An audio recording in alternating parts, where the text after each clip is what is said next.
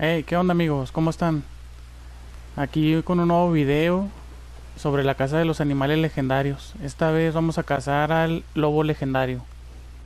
Como siempre, primeramente el mapa. Este, estamos en Cotorra Springs. ¿Dónde está esto? Pues bastante al norte. Miren, si abrimos el mapa, estamos muy arriba.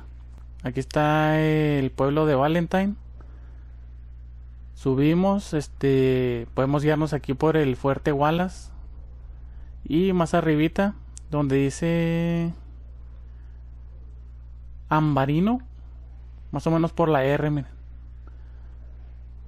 Por la R bajamos, aquí están unos lagos y en esta parte es donde está la primera pista. Entonces vamos a, empezar. Aquí están.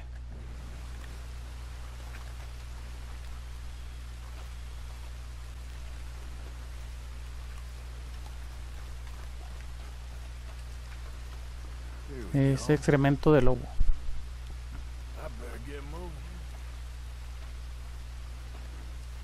Aquí con el lobo sí me voy a ir con cuidado desde el principio porque al ser un depredador si nos descuidamos poquito nos va a matarlo luego.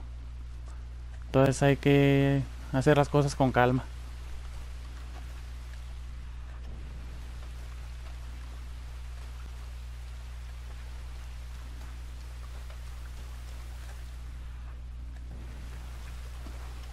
Que hay piel de lobo.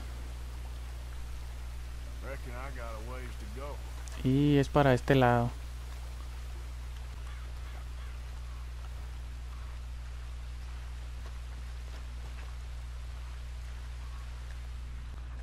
Hay otra pista más. Por lo regular son tres pistas y luego ya sale el animal. Pero como les digo, yo no me quiero arriesgar y por eso estoy ahorita aquí muy sigiloso. Aquí hay un cadáver. Ya se escuchó ahí el aullido del lobo.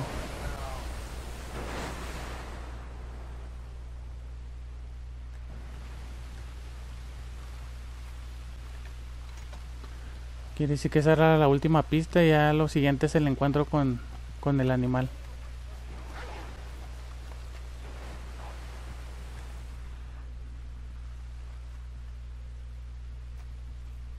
Creo que ya lo vi allá, miren. Hey there.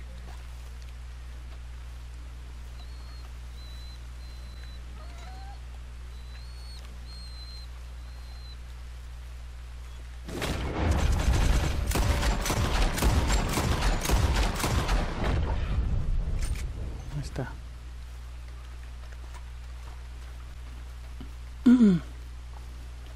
Como siempre no queda de más comentarles lo del arma. Que con animales legendarios no importa con qué arma disparen, ni dónde le den. La piel va a quedar sanita siempre.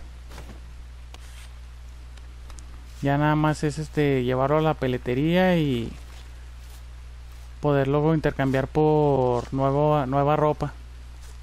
Como el casco que traigo ahorita, está hecho con el de bisonte blanco legendario. Ahorita lo llevo y a ver qué me puedo hacer con la piel del lobo. Y pues eso es todo amigos. Espero que les haya servido esta mini guía. Y este estaré subiéndoles próximamente los siguientes episodios de animales legendarios y dónde encontrarlos. Hasta luego.